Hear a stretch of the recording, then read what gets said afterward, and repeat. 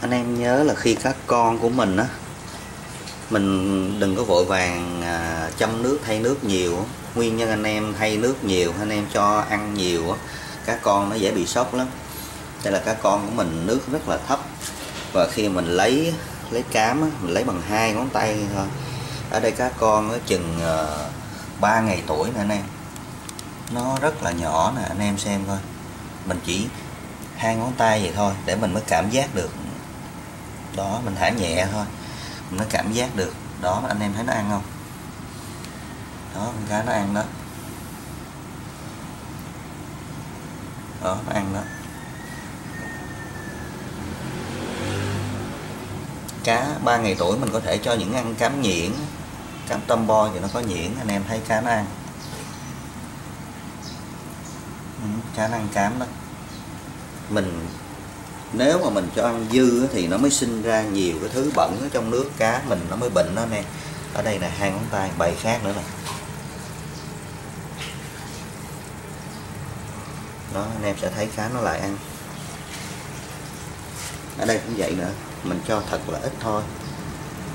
Thật là ít thôi. Đó.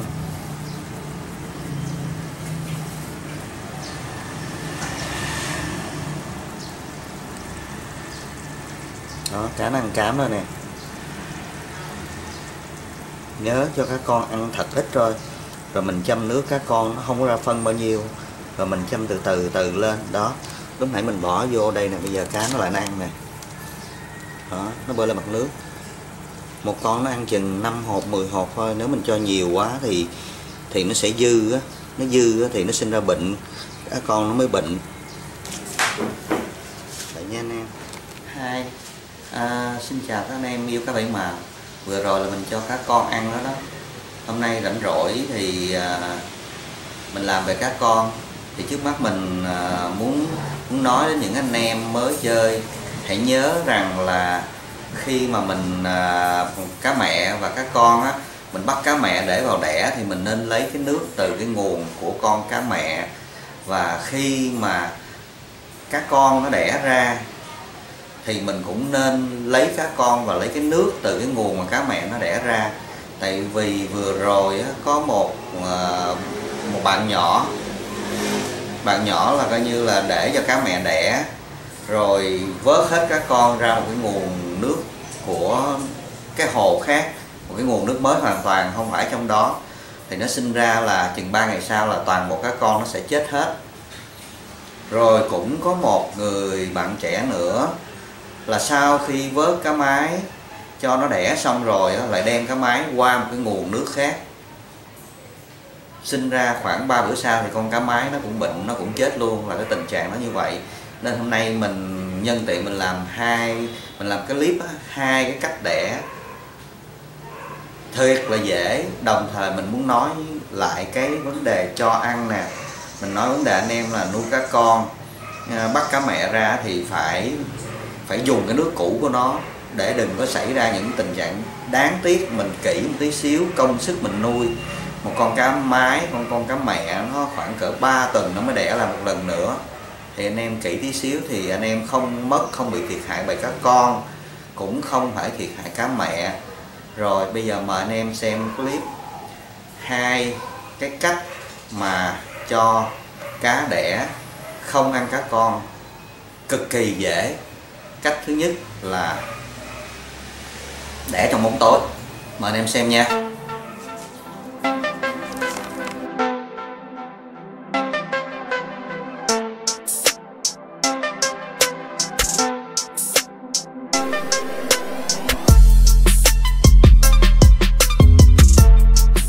Cách này nó cũng đơn giản lắm anh em. Sáng nay mình ờ, chuẩn bị đi làm. Thì mình thấy ờ, một con cá này nè bụng nó bự lắm. Cái cá này bụng nó cũng khá bự. Đó, mình mới à, đây mình vớt nó vô đây.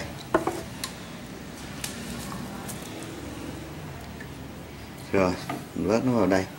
Thì à, mình sẽ chuẩn bị một cái chậu này nè. Cái chậu nhựa này nè. Thì cái chậu nhựa này nó nó màu nó vậy, nó không có bị ánh sáng lọt vào. Rồi, mình đổ cá ở đây. Ừ.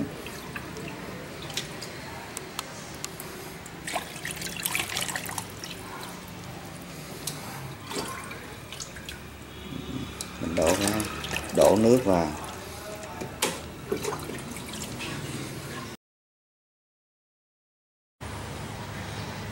Mục đích của mình á, bỏ vô một cái ờ, chậu như vậy đó em. Cái chậu mình lựa cái chậu mà nó đục để ánh sáng đừng có lọt vô để mà ánh sáng nó đừng có xuyên vào cái chậu á. Thì sau khi mình bấy cái chậu như vậy nè thì à, mình tìm một cái chỗ nào tối thiệt là tối luôn. Ở đây trên sân thượng mình nó tự nhiên nó có cái, cái nó có cái tủ này nè tủ cũ hồi xưa nè. Tiếc tiếc xong cứ để hoài đó đây một cái tủ này. Nè đó, rồi mình lấy một cái đồ mình đậy kính lại cho nó tối luôn đi. Tại giờ nó còn ban ngày sáng mình đóng đóng cửa lại luôn nè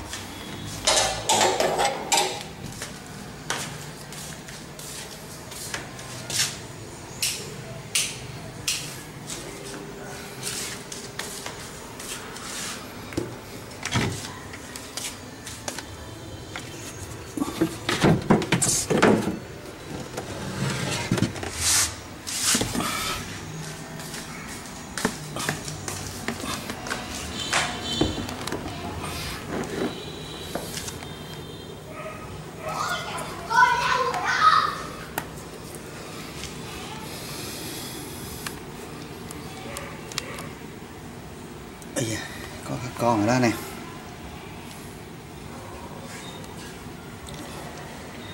Rồi, có các con rồi, bây giờ mình chỉ việc bắt cá máy ra thôi. Quay có một tay. Quay có một tay nên nó hơi khó đó nè.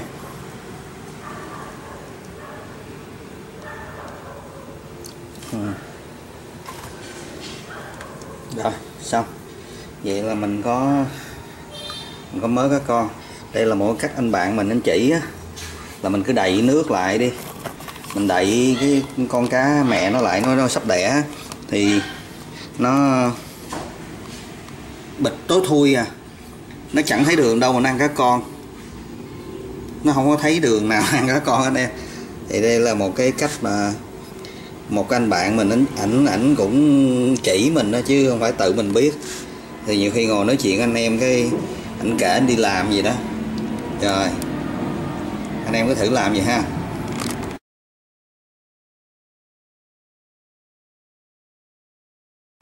Một cách uh, cá bảy màu mà nó đẻ mà thu hoạch các con mà hôm nay mình dùng cái từ là cái gì? Ta gọi là cái gì? Cực kỳ hả anh em? Đây mình sẽ hôm nay mình sẽ dùng một cái từ nữa là cực kỳ đơn giản. Ở đây mình sẽ thấy một con mái này nè. Đó, khả năng nó sắp đẻ nè nè đó việc là việc của mình. Mình cho vô rổ đây đẻ cũng được. Nhưng mà không bây giờ mình chỉ anh em chia sẻ anh em cho vui cái cách này cực kỳ luôn. Đây em nó đây. Cực kỳ đơn giản. Ủa, trong này nó có một cái trống. Để bắt lại coi. Nó dính cái trống trong đó. Mình muốn bắt con cá mái này thôi. Này cực kỳ đơn giản. Ở đây mình chọn một cái à, đây, cái chậu mình có gì núi nấy à. Đây, một cái chậu này mình để sẵn ở đây. À để đây cái đã đây cái đã. Mình à, ở đây mình có một cái cái rổ vậy. Rổ vậy. Đó. Rổ vậy. Rồi, mình đổ cái này vô. Đó. rồi, bình tĩnh nó đi. Mình sẽ lấy một cái giò sủi ở đây. Rồi, mình sẽ sủi nó luôn sủi nó luôn. Bỏ cục sủi của nó nha. Rồi anh em đợi xem ha. Hôm nay đi làm về 6 giờ 20 chợ này cũng tối thui rồi em mình cứ sáng đi làm về rồi tối là nghĩa ra một chút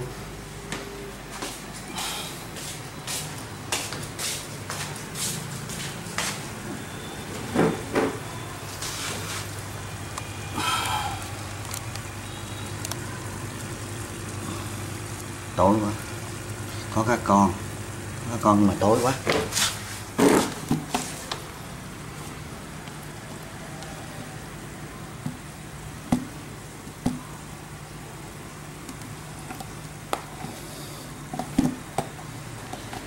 Bây giờ mình để mở đèn pin xem sao. Rồi, có các con rồi nè. Có các con rồi. Có các con rồi. Các con cũng nhiều à hai mấy con ba chục con hả rồi bây giờ mình sẽ vậy là ok đó nè. Bây giờ mình chỉ còn tiến hành là mình à, mình vớt cái con cá mái ra thôi. Đây. Quay một tay thì nó hơi khó một chút.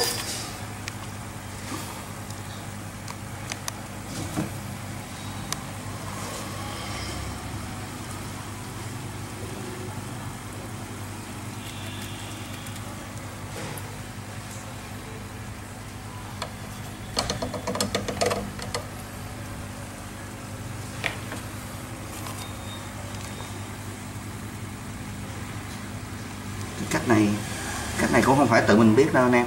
Mình đi tới trại của thanh long á. Mình đi tới trại cá của thanh long á thanh long toàn cho đẻ gì không à? Cho cá mái vô đây. À, cho cá mái vô đây xong rồi sủi như vậy nè. Cá mái nó đẻ thì các con nó sẽ văng ra ngoài rổ hết nè. Văng ra ngoài rổ sau khi ở nè văng ra ngoài rổ vậy đó. Đó thì ở ngoài cá nó chẳng động mấy đâu các con đâu bị động đâu.